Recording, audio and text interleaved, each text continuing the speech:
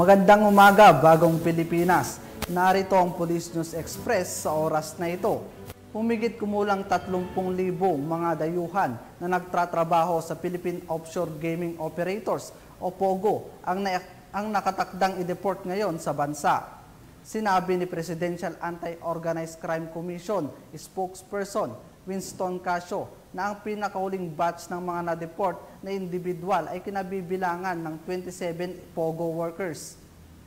Ito ay bukod pa sa isang libot anim na raan at siyam na putwalong dayuhan na din diniport rin noong lamang ikaapat ng Mayo taong kasalukuyan. Ang mga nasabing illegal POGO workers na na-deport ay hindi na makakabalik sa Pilipinas dahil sila ay minarkahan ng blacklisted.